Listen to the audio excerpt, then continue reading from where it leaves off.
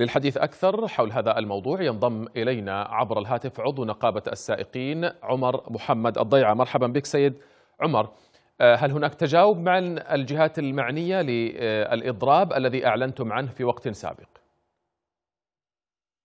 آه السلام عليكم. عليكم السلام. ورحمة الله وبركاته أخي العزيز.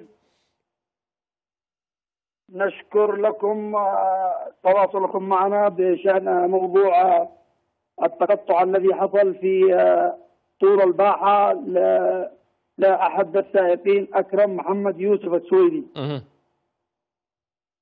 طبعا أخي إحنا الخط تحصل هناك تقطعات من قبل قطاع طرق يعترضون لأي مسافر وأي عابر سبيل وقد تم قتل عدة مسافرين وسائقين. نعم سيد عمر هذا الأمر واضح وكنا قد قمنا بتغطية هذه الأخبار لكن السؤال هنا الجهات المعنية هل هناك تجاوب من قبلهم؟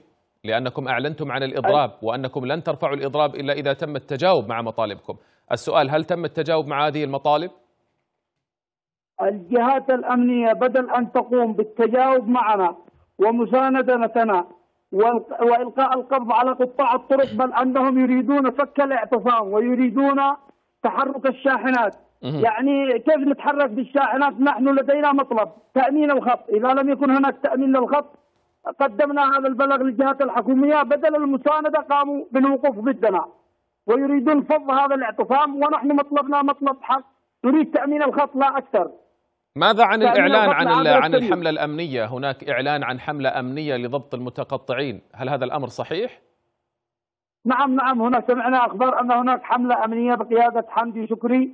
وحمدي شكري مشهود له بالكفاءة والجدارة.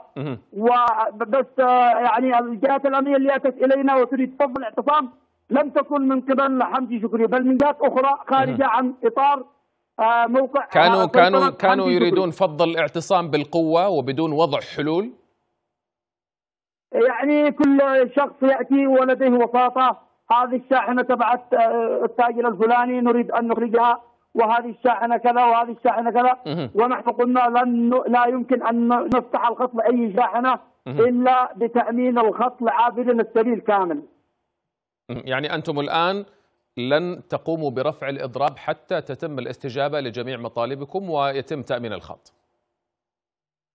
طبعا مطالبنا ليست بمطالب خيالية أو بمطالب يعني مستحيلة مطلب تأمين الخط يطلبه أي مواطن وأي عابر سبيل نعم. وأي مسافر. يعني م. مطلبنا طلب ليس ب يعني تلك الصعوبة. الجهات الأمنية إذا لم تقم بدورها بتأمين الخطوط فما فائدة النقاط المنتشرة على طول الطريق وتلك النقاط تأخذ جبايات على السائقين من عشرين ألف ومن ثلاثين ومن عشرة ألف بحجة تأمين الخط. ولكن لا نجد تأمين. نحن قد إحنا ندفع ونسلم ولا نجد تأمين. فلماذا موزعة هذه النقاط على طول الطريق؟ وضحت الفكرة سيد عمر محمد الضيع عضو نقابة السائقين كنت معنا عبر الهاتف. شكرا جزيلا لك.